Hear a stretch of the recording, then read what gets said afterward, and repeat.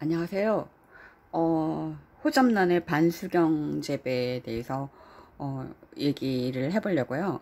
일단 저는 완전한 성공은 못한 것 같아요. 이제 한 달 됐는데 물론 물은 지금 한 달인데 처음에 이렇게 반수경으로 할 때 한 번 물 준 거, 그러니까 그 수태 제거할 때 물을 줬거나 아니면 소독한다고 물을 줬던 거 하고 그 다음에 한 번 더 주고 이제 물을 줘야 되는 상, 그러니까 시간인데요. 어, 음, 지금 예를 들어서 그 긴기아는 잘 됐지만 그 막스 막실라리아가 그거는 좀 물에 담겨 뿌리가 닿고 있어서 잘 안 됐거든요.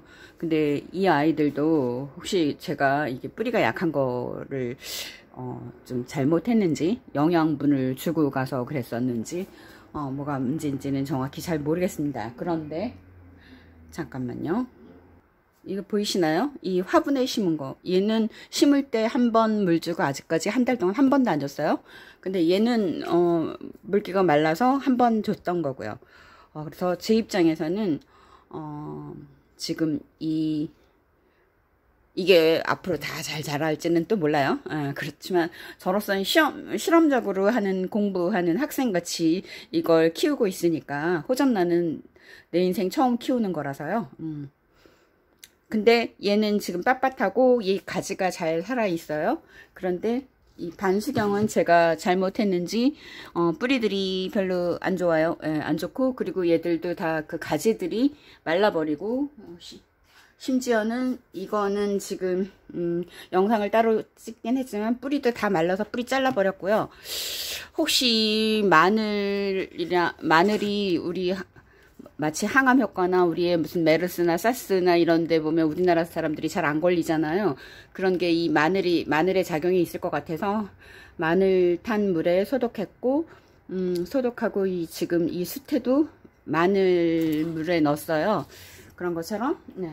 이렇게 했고 그래서 화분하고 여기가 지금 집이 아니고 사무실이라서 예.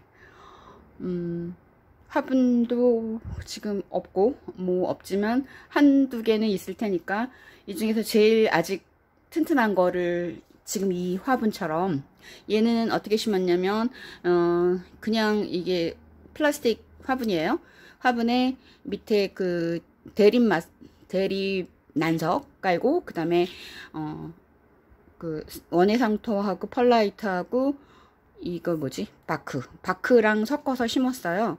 근데 일단 얘가 어 지금 뭐 빳빳하고 잎사귀도 단 한 번물 줬어요. 한 달 전에.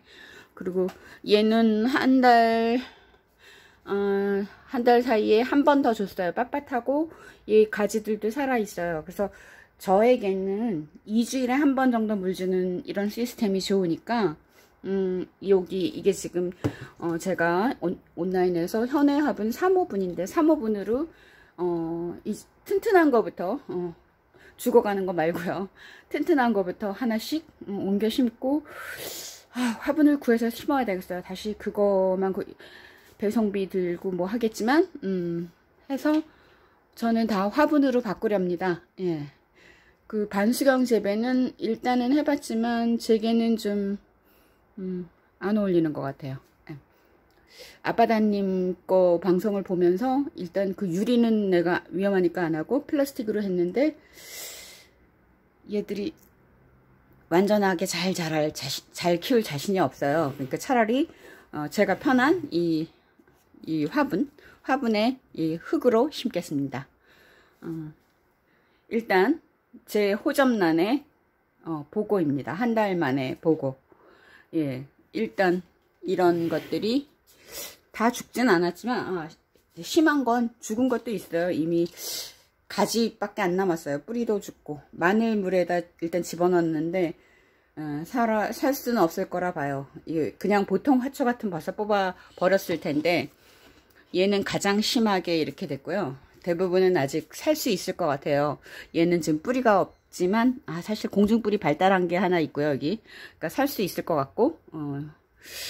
그리고 얘는 뭐 처음부터 이렇게 심었으니까 예, 흙에다 심은 건 가장 튼튼해요 잎사귀도 단단하고 지금 가지도 잘 살아있고 예.